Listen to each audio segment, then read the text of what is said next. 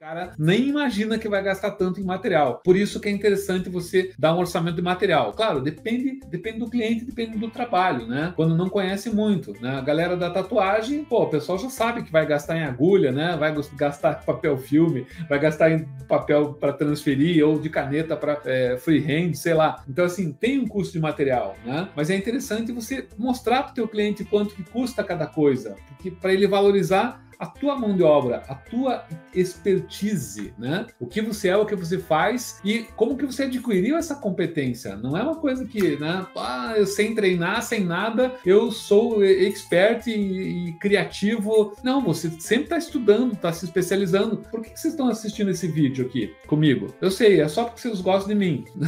Mas assim, porque vocês querem é, trazer alguma coisa de interessante para a vida de vocês, né? Profissional, profissionalmente. É por isso que vocês estão vendo aqui. Vocês querem se especializar. Isso gasta tempo, gasta dinheiro. Você tem que ter internet, tem que ter uma, um equipamento para me enxergar, né? Você tem que ter um equipamento, um, um, suporte, você tem que treinar, enfim, tem que comprar um livro, tem que comprar um curso. Então você gasta para isso. Então você tem que cobrar.